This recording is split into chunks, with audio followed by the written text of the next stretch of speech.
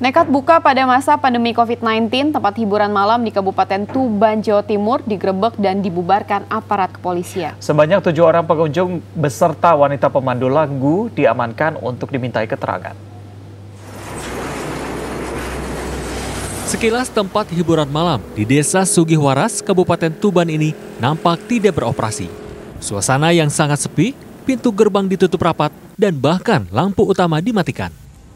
Namun semua ini hanya trik untuk mengelabui aparat keamanan. Pengelola karaoke ternyata masih menerima kunjungan tamu secara diam-diam. Padahal pemerintah memerintahkan semua tempat hiburan malam berhenti beroperasi selama pandemi COVID-19. Sebanyak tujuh orang pengunjung dan wanita pemandu lagu diamankan ke Mapolsek Jenuh untuk diperiksa. Selanjutnya para pelanggar ini diberi pembinaan dan diminta membuat surat pernyataan tidak mengulangi perbuatan serupa. Itu kami dari Polsek Jenuh, Polres Tuban, melaksanakan kegiatan. Ini berdasarkan informasi dari masyarakat, adanya tempat karaoke yang ada di Tuban, itu melaksanakan kegiatan. Jadi buka namun dia terselubung.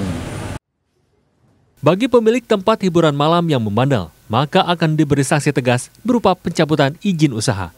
Dion Fajar Arianto, Tuban, Jawa Timur.